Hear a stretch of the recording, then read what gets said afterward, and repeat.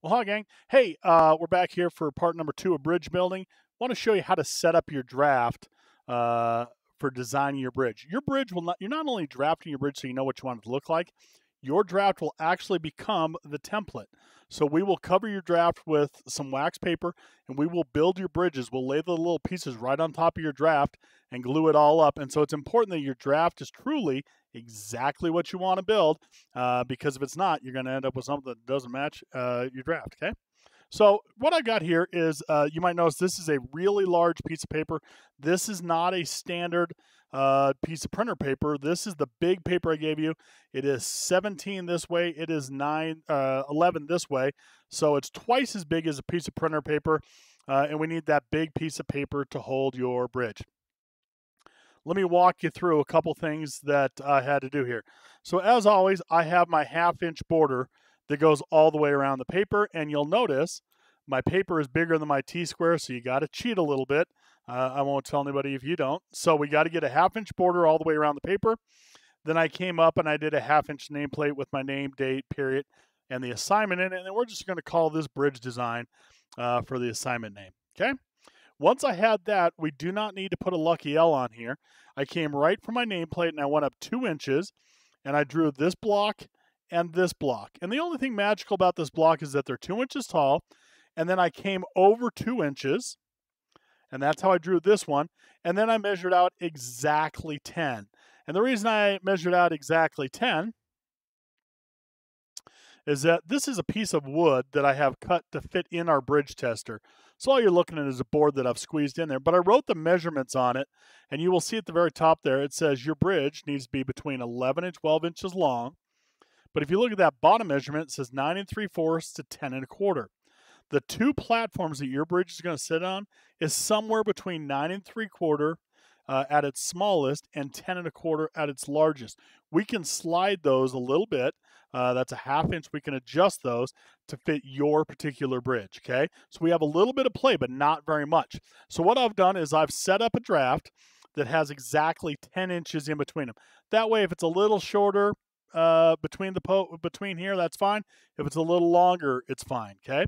So draw these two blocks in for me. Take just a minute and draw them. They go up two, and then I measured over two this way, and then I went over exactly 10 inches and drew the other block, okay? Now, this block is obviously bigger than this one.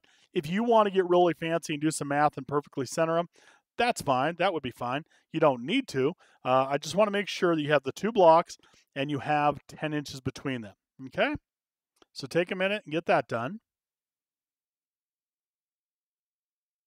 Okay, so I'm going to assume you pause the video and you have these, the border, the nameplate, and these two blocks, okay? From that point, on the top corner of this block, I measured down a half inch and I drew a line across. Now, you don't have to put this on yours. I did that so you can see your bridge is going to fit inside this box.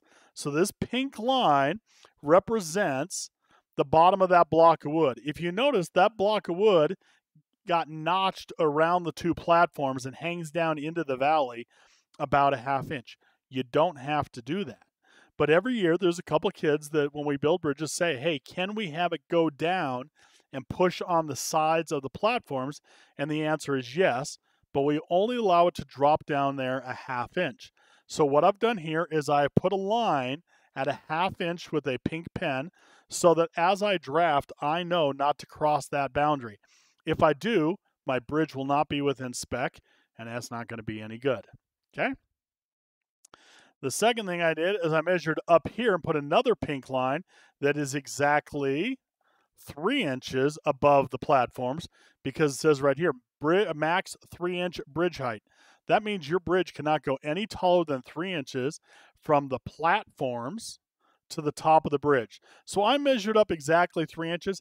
I'm going to stay a little bit short of that at least to make sure uh, I don't get just a little too long and my bridge doesn't fit in the bridge crusher. That would be a tragedy if we couldn't even get your bridge to physically fit inside the space that we need to to crush it. Okay. Next thing, notice it says uh, 10 or it says 11 to 12 inches long. That's how long your bridge is going to be total. So what I've done is I've marked out again so that I don't go outside my boundaries. I came in here and I measured out uh, the maximum, which is 12 uh, is 12 inches. So I measured back one inch here, one inch here, and drew two of those green lines.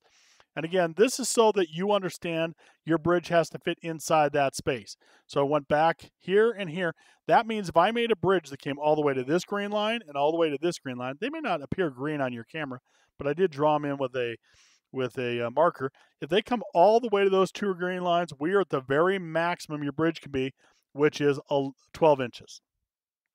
You'll also notice I put a little mark here and a little mark here, and that's telling us the very minimum your bridge can be, which is 11 inches. Now, I, I probably should write that somewhere for you, uh, but eh, the idea is you want at least a half inch material sitting up on each platform, so when we crush it, if your bridge deflects and starts to bow, it doesn't pop through the opening, okay?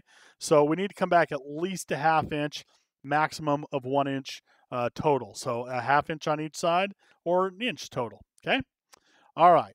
So let's talk a little bit about what we're going to do now. It is time to actually start drawing our bridge inside those parameters, okay? Inside these lines is where our bridge is going to go.